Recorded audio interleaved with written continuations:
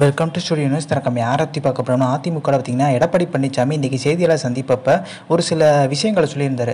பாஜகவோட கூட்டணி முறிச்சதுக்கு வந்து ஊடகங்கள்லாம் சொல்கிறாங்க பதினஞ்சு சீட்டு இருபது சீட்டு கேட்டால் கூட்டணி முறிச்சுக்கிட்டாங்க. அப்புறம் அண்ணாமலையை பார்த்திங்கன்னா தமிழக பாஜகத்தில் வந்து நீக்கணும்னு சொல்லிட்டு அதிமுக கோரிக்கை வச்ச மாதிரி வந்து இந்த மாதிரி தான் செய்திகள் போட்டுட்ருக்கீங்க ஸோ அது உண்மையான விஷயம் கிடையாது. ஸோ அதிமுக பார்த்தீங்கன்னா பாஜக கூட்டணி முறிஞ்சதுக்கு முக்கியமான காரணம் எங்கள் தலைவர்களை பார்த்தீங்கன்னா வந்து இளைய இழிவுபடுத்துகிற மாதிரி வந்து பேசுகிறது ஸோ அதனால் பார்த்தீங்கன்னா தொண்டர்கள் எடுத்த முடிவை தான் நான் வந்து பாஜகவோட கூட்டணி முறிச்சுக்கிட்டே மாதிரி சொல்லியிருக்காரு.